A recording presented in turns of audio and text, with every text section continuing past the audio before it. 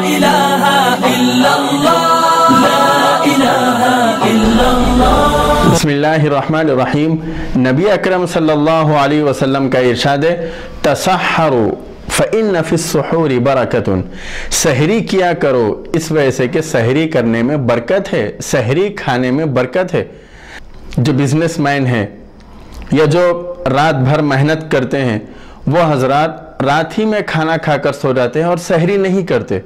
ایسی حالت میں روزہ تو صحیح ہو جائے گا، لیکن سحری کی جو برکت ہے، اس برکت سے محروم رہے گا۔ بلکہ نبی اکرم صلی اللہ علیہ وسلم کا اور ایک ارشاد ہے، ان اللہ و ملائکتہ یصلون علی المتصحرین سحری کرنے والوں پر اللہ کی رحمت ہوتی ہے اور فرشتے اس کے، اس شخص کے لیے دعائیں کرتا ہے۔ کتنی بڑی فضیلت کی بات ہے۔ صرف اور صرف سحری کرنے میں میں تمام حضرات سے گزارش کرتا ہوں کہ وہ سحری میں ضرور اٹھیں اور سحری کر کر روزہ رکھیں۔